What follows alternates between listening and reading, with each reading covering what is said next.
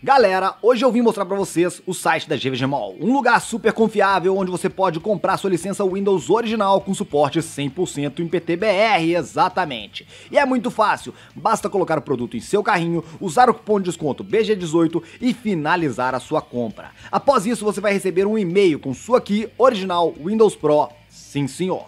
Para ativá-lo é mais fácil ainda, basta digitar ativação na barra de pesquisa, colar o serial que lhe foi passado e pronto. É bem fácil, não perca a chance e ganhe aquele desconto com o cupom BG18 e saia da craqueagem. Gift card para PlayStation, Xbox, Nintendo e muitos outros é só na Rei dos Coins. E vale lembrar que sua entrega será feita em até 50 minutos.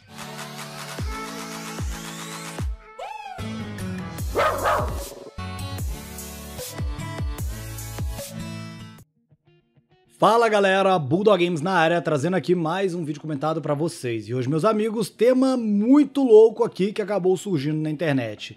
Desbloqueio de PS4 e PS5 definitivos estão saindo da jaula e parece que o PS5 já estaria desbloqueado. E a gente vai falar a respeito do tema, pois eu vou dialogar com vocês, vou trazer as informações. Fique claro aqui para vocês logo de início, eu não ensinarei desbloqueio de console de forma alguma, porque eu acho que isso daí é algo muito, muito é, pessoal de cada um se deve fazer ou não, mas também, é claro, não irei criticar. Mas eu falarei das notícias, darei as informações e falarei se eu acho que vale a pena ou não. Então, meus amigos, caso vocês queiram saber a respeito do que a gente tá falando, já vai deixando o seu like. Se tu ainda não é inscrito no canal, pô, tá esperando o quê? Se inscreve e não esquece de clicar no sininho, porque o YouTube não entrega o vídeo pra ninguém. Então, bora lá! E bem, meus amigos, há alguns dias atrás, né, eu vim aqui a público e falei para vocês a respeito de desbloqueio de PS4, que estava sendo divulgado que o PS4, que o PS4 da versão 10.00 seria desbloqueável. Sim. Isso daí causou uma, um grande burburinho na comunidade, muita gente ficou ensandecida, já querendo desbloquear o PS4 de uma só vez, mas é claro, era muito por alto ainda que estava se falando, não estavam disponibilizando o desbloqueio na internet nem nada. Era somente ainda algumas informações de que isso estava acontecendo.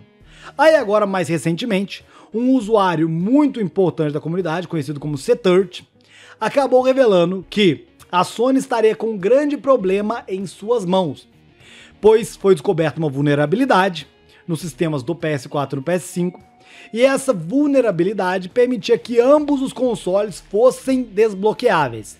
A exploração, no caso, ela havia sido já descrita há algum tempo.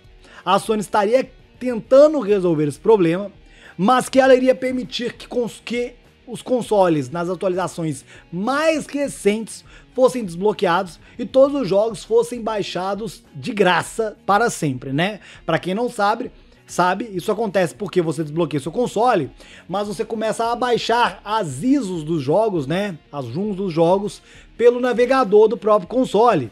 E aí você então consegue é, jogar esses jogos todos na, de graça, mas é claro, sem, sem o online. O seu console não tem mais a, a capacidade de entrar na PS, é, PS Online, na PS Plus, no sistema online da PlayStation. Então ele não te permite que você ganhe os troféus, é, platine os jogos, ele não te permite que você entre ali e possa jogar com seus amigos, ele não te permite, por exemplo, jo jogar jogos que tenham sido lançados depois dessa atualização, porque esses jogos específicos eles rodam somente a partir de uma atualização posterior. Só que agora, meus amigos, algo que ainda estaria meio que no. no sonho de muitos, porque muitos sonham em poder desbloquear seus consoles, está se tornando realidade. Percebam que Lance McDonald, modder conhecido da comunidade Souls-like, desbloqueou um PS5. De forma com o que aconteceu no PS4, ele falou que o console precisa estar na versão 4.03 e ele então conseguiu desbloquear o seu PS5, né? Além do desbloqueio, ele falou que ainda está bastante instável, não é tão bem feito como o desbloqueio do PS4, e ele afirmou que ele tem vários problemas. Quais são esses problemas? Durante o período que ele está jogando, ele tem vários crashes, vários kernels, kernel panic, que é aquela tela azul. Ele tem alguns problemas relacionados aos jogos crasharem, esse tipo de coisa, porque não está ainda rodando tão bem esse desbloqueio. Então, a gente tem, ó, o PS4 com o possível desbloqueio do 10.00, que seria o desbloqueio definitivo, que te permitiria jogar centenas de milhares de jogos, e o desbloqueio do PS5 na versão 4.03. Ponto importante, meus manos, Nenhum desses desbloqueios até o momento foi disponibilizado para o grande público. E eu não recomendo que vocês saiam buscando aí adoidado na internet, porque vocês podem baixar algo que vai fuder o seu PC e fuder também o seu console. Agora vai a minha opinião. Velho, eu sempre falo aqui, olha, eu, eu, eu não desbloqueio o jogo, é console mais. Por que não? Porque eu tenho o privilégio de poder jogar esses jogos, pagar por esses jogos hoje e até receber alguns jogos em adiantado. Tenho esse privilégio. A grande maioria ainda pago? Pago. Olha aqui pra tu ver, ó. 400 reais. 400 reais, porque jogo da Nintendo não, barateia. Jogos da Nintendo, por exemplo, todos eu compro. Todos eu compro. E eu compro pelo menos 2, 3 por ano. 1.200, 1.300 reais da Nintendo. Jogos do PlayStation eu compro? Compro também. Porque muitos jogos eu recebo digital e eu gosto de ter jogo físico. Eu coleciono jogo físico. Então compro um monte também. O que eu quero dizer? Eu continuo comprando o jogo e realmente dói no nosso bolso. Só que por que, que eu acho que hoje em dia não vale a pena desbloquear como a gente desbloqueava na época do PS1? Como a galera desbloqueava na época do PS2, né? Por que eu acho que não vale a pena? Porque hoje a gente abre mão de muita coisa. Hoje, desbloquear um console, você abre mão de jogar online, jogar com seus amigos. Você abre mão de aproveitar o, a comunidade em si, né? O lance dos troféus, de aproveitar os novos serviços que estão chegando, como a nova PS Plus, como o PlayStation Stars vai chegar agora. Você abre mão de jogar jogos mais novos, porque o seu console ele fica travado até aquele, aquele, aquele, bloqueio, aquele desbloqueio, até aquela atualização, depois você não consegue jogar mais. Do PS4, eu ainda até entendo muita gente desbloquear, porque muita gente já foi pro PS5, então desbloqueia o PS4. Entendo, entendo, não faço, não faço. Mas o PS5 eu acho uma loucura desbloquear. Para mim, desbloquear o PS5 é somente se você teve seu console bloqueado pela Sony. Tu vai desbloquear o PS5, isso é uma loucura console de 5 mil reais que vai ficar limitado aos jogos da geração 4.0? Vai ficar limitado a jogar somente offline? Não vai poder baixar um monte de update de jogo que deixa o jogo mais bonito, com melhor resolução? Isso é uma loucura, na minha opinião. Só que eu sempre falo aqui, caras, eu não julgo quem baixa. E eu acho muita hipocrisia. Muita gente que vem à internet hoje pagar de rico e, na verdade, compra base de carregador do console falsificado, compra headset da PlayStation falsificado, compra controle da PlayStation falsificado. Eu acho muito bonito esses caras irem xingar quem pirateia. Eu não xingo também. Porque todo mundo já pirateou um dia. Todo mundo que vive no Brasil já teve um PS1 desbloqueado, já teve um PS2 desbloqueado. Eu faço hoje? Não. Por quê? Porque eu sou um privilegiado. Só que eu entendo aquele cara que não consegue comprar nenhum jogo, tem um PS4 aí de 2014, 2015. Eu entendo esse cara querer desbloquear. Ah, mas cara, o PS5 é muito caro, o PS4 é muito caro.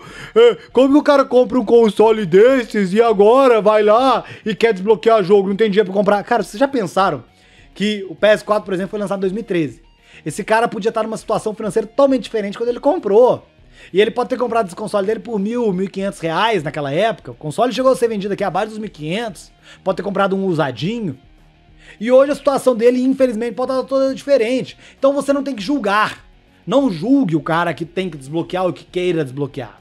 O que eu acho importante é essa galera que quer desbloquear saber que não é tudo mil maravilhas, tem alguns problemas, inclusive esse que o próprio Lance McDonald revelou aqui, que o console dele tá crashando o tempo todo. É perigoso, tem muita gente falando de desbloqueio na internet, oferecendo desbloqueio na internet, que só quer te hackear, só quer te enviar vírus. Mano Vinas lá do Explosão do Game justamente falou a respeito disso comigo é, recentemente, uma conversa que a gente teve em privado, né? Que igual, existe kernel, existe um acesso a, ao PS4 e ao PS5 que já está disponível já há algum tempo mas que muita gente que tá falando que tem um desbloqueio é fake e só quer te passar a perna. Entendeu? Por isso que não tá sendo tão divulgado. Então, o que, que eu tô falando aqui, ó? Tem desbloqueio novo do PS5. Do PS4 parece que tá surgindo. Mas você tem que pensar se vale a pena, você tem que pensar naquilo que você vai perder, e você tem que pensar que você não vai ter mais suporte da Sony. Depois que você desbloqueou o seu console, se o seu console tá crashando, se o seu console tá dando BO, se o seu console não tá rodando bem os jogos, aí é só por sua conta e no máximo um brother que tem um canal no YouTube focado em desbloqueio de game que vai te ajudar aqui a colar. Mas a gente sabe muito bem, isso daí não é 100%, não é mesmo? Bom, meus amigos, comentem aí o que vocês acharam a respeito dessas informações, o que vocês acharam a respeito desses desbloqueios. Vocês fariam ou não? Quero saber a opinião de vocês, né? Como eu disse, eu acho que cada um tem que saber do seu. O meu, por exemplo, eu acho que não vale a pena desbloquear, mas quem sabe pra ti não vale, né? Bem, espero que tenham curtido esse vídeo. Caso tenham curtido, não esquece de deixar o seu like. Se tu ainda não é inscrito no canal, pô, tá esperando o quê? Se inscreve e não esquece de clicar no sininho porque o YouTube não entrega vídeo pra ninguém. Então falou, alguém, aquele abraço e fui!